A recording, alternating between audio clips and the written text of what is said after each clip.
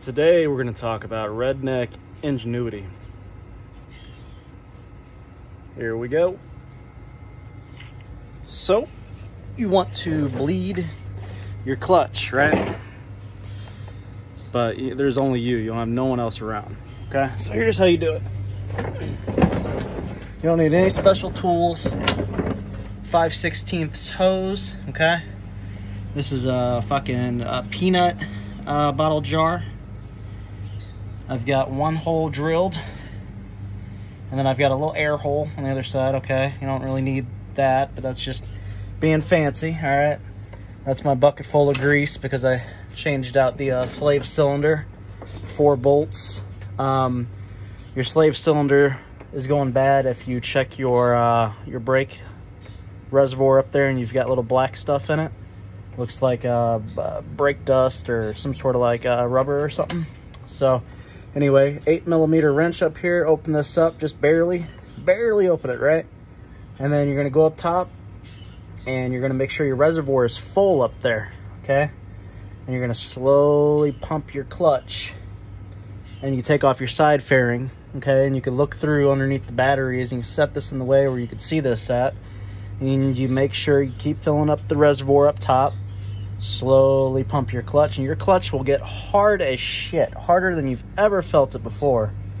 And you will see all the air bubbles just going out slowly, slowly going out, slowly going out. And then once you get all the air bubbles out and your clutch is feeling amazing like it's never felt before, come down here, tighten up your 8 millimeter, and uh, there's fluid still in this line, you can see. So basically, this is the clutch line that comes down, and uh, it's all full, it's all primed. I tightened that, 5 16ths, uh, hardware store. Um, this right here is standard uh, airline for the fishing fish tank. Uh, it's one fourth, I believe. One fourth will not fit the bleeder nipple here. You need 5 16ths, something like that. You want to ensure you got a good seal around there. These bolts, be careful with them. They're size 12 millimeter. They come off fairly easy, but you got to make sure that you don't strip it out because it, I, I, believe it's aluminum into steel.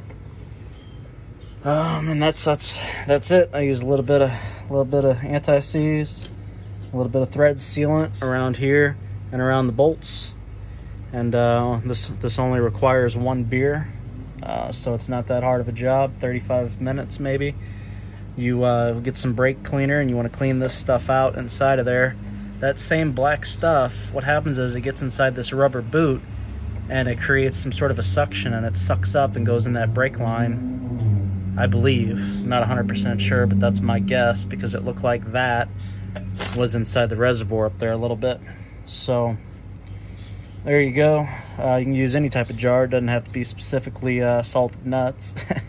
but, you know, can use whatever you want. Anything that's going to stand up easily because you don't want this thing to fall over while you're fucking with it because this is going to be all over your driveway. Um, yep. When this is off, what I did first, first step was I took this off, 12 millimeters, okay? Pulled it out because I left the system primed. And, uh, I cleaned everything out with a scraper and some brake cleaner. Make sure you wear safety glasses because uh, this will blast you in the face. It's not fun. And uh, that's it. Good luck.